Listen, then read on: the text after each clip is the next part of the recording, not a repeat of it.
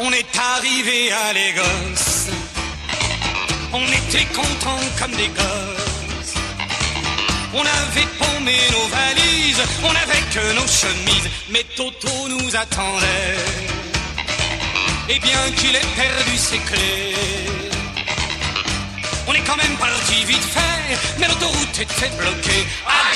Moto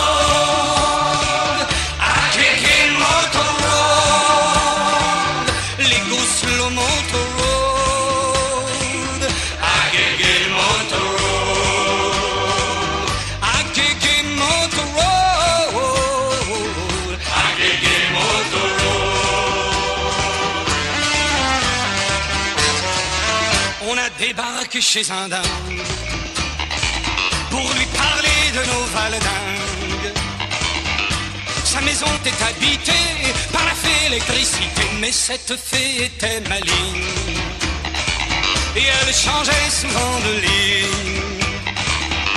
On la cherchait dans la maison, de la cuisine au salon.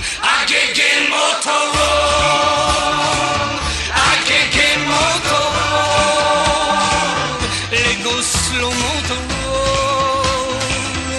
Agege Motoro,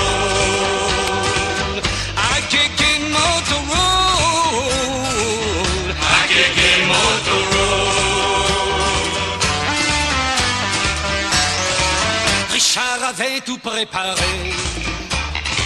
L'accueil et la publicité. Bob nous a reçus comme des dieux. Casimir faisait de son mieux. On a rencontré des tas de gens. Des grands, des petits, des noirs, des blancs. L'ambassadeur était très chic. C'est formidable en Afrique.